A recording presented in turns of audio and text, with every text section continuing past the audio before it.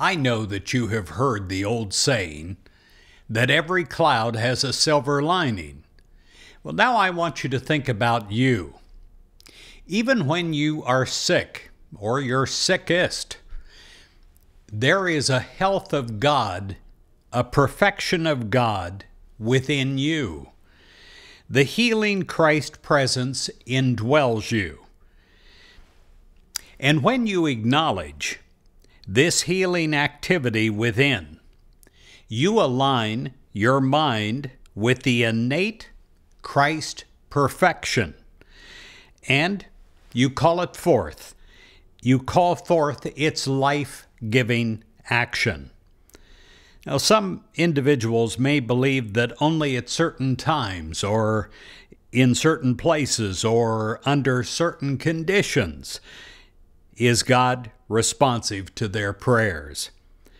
Some may even believe that God wills sickness. I've heard people say this before. Well, I'm very sick, they say, but it's uh, God punishing me. Well, God is not a God that does that.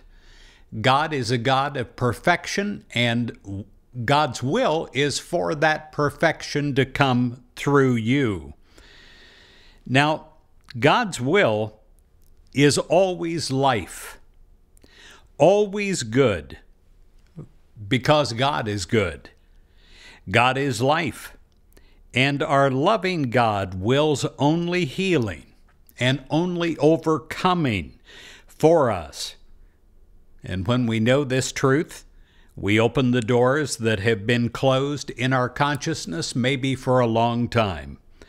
Doors that have been blocked,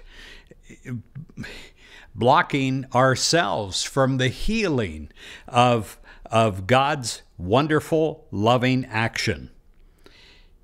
We acknowledge today, we proclaim today the healing activity of Christ in ourselves and in others, and the healing comes forth, and it comes forth quickly.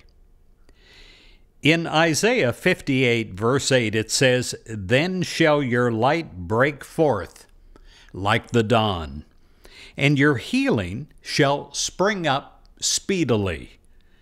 Well, today, all day long, you acknowledge and proclaim the healing activity of Christ indwelling, and that healing comes forth quickly.